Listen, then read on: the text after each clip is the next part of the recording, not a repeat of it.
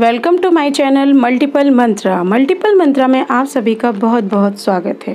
जैसे कि सभी जानते हैं कि सोमवती अमावस आने को है और सोमवती अमावस के दिन हमें क्या करना चाहिए, कैसे पूजा करना चाहिए, किस दिन को है, क्या उसके शुभ मुहूर्त है, उन सब के बारे में आज मैं अपने इस इस वीडियो में वो सब मैं शेयर कर रही हूँ।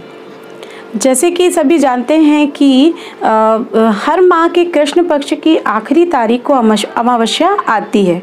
और चैत माह की अमावस्या इस बार 2021 की 12 अप्रैल को दिन सोमवार के के दिन है। सोमवार के दिन है इसलिए इसे सोमवती अमावस्या कहा जा रहा है। और एक विशेष बात यह भी है कि 2021 में केव, केवल एक ही सोमवती अमावस्या पड़ रही है। इस दिन दान का बहुत महत्व है। मान्यता है कि इस दिन दान करने से व्यक्ति के घर में सुख, शांति और खुशहाली आती है। मतलब आज के दिन हमें दान करना चाहिए। और दान करने से मन को शांति भी बहुत मिलती है है ना? तो अब हम जान लेते हैं कि सोमवती अमावस्या किस तारीख को पड़ रही है, इसका शुभ मुहूर्त क्या है। तो सोमवती अमावस्या 11 अप्रैल 2021 सोमवार को पड़ रही है है ना? और इसका समय क्या है? इसका समय है सुबह छः बजकर तीन मिनट से आठ बजे तक। मतलब इस बार सोमवती अमावस्या सिर्फ़ दो घंटे के लिए ही है, बहुत कम समय के लिए है। तो इसलिए हमें इस बार सोमवती अमावस्या की पूजा सुबह जल्दी करनी हो अच्छा अब सोमवती अमावस्या के दिन, सोमवती अमावस्या की पूजा क्यों करते हैं और सोमवती अमावस्या के दिन हमें क्या करना चाहिए, ये जान लेते हैं, उसके उपाय क्या हैं, ठीक है?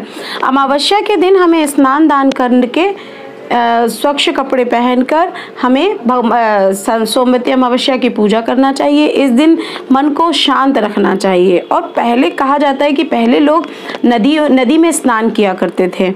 और अगर मौन होकर स्नान किया जाए मतलब मौन हो रहकर अगर हम स्नान करेंगे तो एक हज़ार गोदान के बराबर फल मिलता है। यानी कोशिश करें कि जब हम स्नान करें, नदी, नदियों में नहाना तो पॉसिबल नहीं होता है, लेकिन जब स्नान करें तो मौन रहकर स्नान करें। उससे हमें एक हज़ार गौदान गौदान मतलब गौ गऊ का दान करने के बराबर फल मिलता है।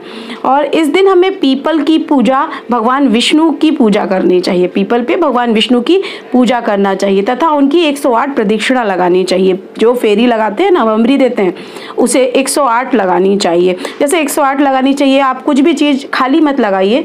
उसमें आप कुछ भी सामान ले सकते हैं, कुछ भी चीज़ ले सकते हैं, खाने की चीज़ ले सकते हैं या किसी को कुछ देना चाहते जैसे आपके मन में जो है कि आपको किसी को दान करना है तो वो चीज़ आप ले लीजिए, चाहे वो फल हो, या वो मिठाई हो, या वो कपड़े हो, या वो कुछ भी हो, है ना? तो वो आप अपनी अपनी सुविधा के अनुसार सामान ले लीजिए और 108 फेरी लगाइए और एक सामान उठाइए, एक फेरी लगाइए, एक सामान उठाइए, फिर दूसरी फेरी लगाइए। ऐसे करके 108 फेरी लगाना। जिससे क्या होता है कि हम दान, हम दान भी हो जाता है और हमारी पूजा भी हो जाती है। तो इसलिए 108 प्रदक्षिणा करिए और कहा जाता है कि 108 परिक्रमा लगाने से आ, संतान निरोगी और चिरंजीवी रहती है। इसलिए हमें सोमवती अमावस्या के दिन परिक्रमा अवश्य लगानी चाहिए। अच्छा और सोमवती अमावस के दिन सुहागने अपने पति की लंबी आयु के लिए भी व्रत रखती हैं और पीपल की पूजा करती हैं। इसके बाद धान पान और खड़ी हल्दी को मिलाकर उसे विधि विधान पूर्वक तुलसी पर अर्पित करती हैं। आज के दिन तुलसी का भी बहुत महत्व है। अगर आपके पास पीपल नहीं है तो आप तुलसी की भी प्रदक्षिणा कर सकते हैं। एक सौ आठ प्रदक्षिणा आप तुलसी की भी कर लीजिए। अगर पीपल है तो भी अच्छा है और अगर पीपल नहीं है तो तुलसी की भी हम प्रदक्षिणा कर सकते हैं। ठीक है। तो ये रही सोमवती अमावस्या की पूजन। विधि और इसका मुहूर्त, इसलिए आप सभी सोमवती अमावस्या का पूजन अवश्य करें। भगवान आपके आपकी मनोकामना पूर्ण करें। बोलिए, सोमवती माता की जय।